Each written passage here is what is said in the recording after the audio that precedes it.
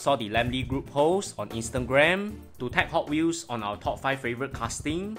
Here are my top 5 at the same time which I share on Instagram. Quite an assortment here. It took me a while to decide the top 5. I shall do a fast feature on each of the casting in no sequence.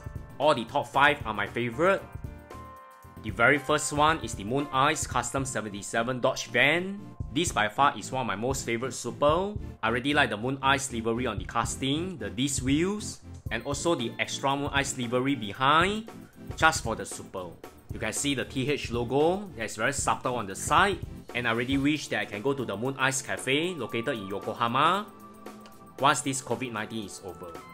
The Dodge van has been released in several castings, and this by far is one of the most fantastic super in my collection.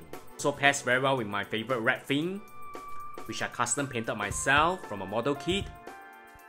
Next is the 70 Dodge Power Wagon, which is the RLC pink party car at the 27th Annual Hot Wheels Collectors Convention. What really wows me is the Spectraflame pink on the body. I think it's very beautiful, very captivating.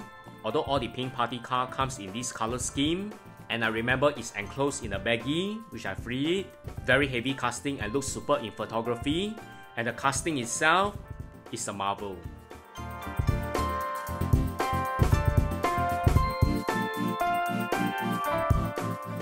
Next is the Blown Delivery Graveyard Shift from the 2011 Dream Halloween Charity Party. This casting is definitely one of the highlights in my collection I really love the livery on the casting, the color scheme and everything.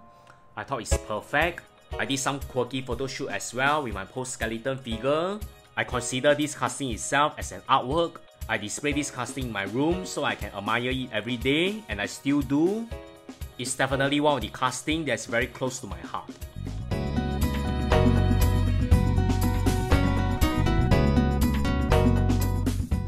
Next, the 72 Gran Torino Sport Super Treasure Hunt. This is definitely one of my favorite American car casting. It's really retro in 70s. Look at the grill. And I really like the K&N Racing livery. I think it's very retro and very dynamic. And for Super Treasure Hunt, it looks fantastic.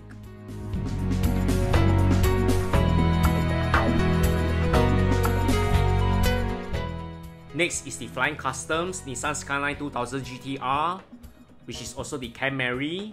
This casting is by far one of my best find on the packs. I think I found a couple and I share this casting with my buddies. One of the best moment is I found 4 of these Camry hiddens on the pack and I just scoop it up and share it among with my friends. This is also a very interesting variation as well. It's a single seat as opposed to the two-seater. I think a couple of years back, I bought the two-seater from a seller at a reasonable price. So I got two colored variation including a loose. Apart from the plastic wheels, it comes with a metal base. I did also custom a Hakosuka in the same livery as this Camry. And this by far is one of the best flying custom before it's retired and was recently relaunched again. Alright, that sums up my top 5 Hot Wheels collection. Please share your top 5 in Instagram as well and tag 5 of your friends. Or you can always comment below what is your top 5 Hot Wheels collection to share with all the viewers. Remember to subscribe to my second channel Hot Custom Unboxing, which you can find the link down below. Thanks very much for all the support.